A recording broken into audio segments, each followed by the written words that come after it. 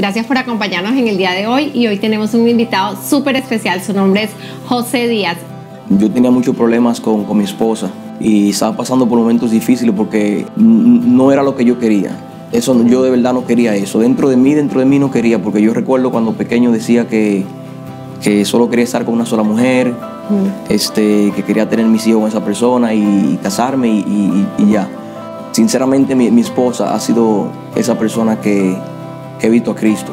He visto, he visto el carácter de Cristo en ella, he visto lo que el Señor ha hecho en ella. Eh, me ha impactado mucho, he aprendido mucho de ella. Tengo mi corazón decirte de que no trates de, seguir buscando la felicidad ni, ni, el éxito en, cosas del mundo, eh, sino de que, como dije ahorita, permite de que el Señor transforme tu vida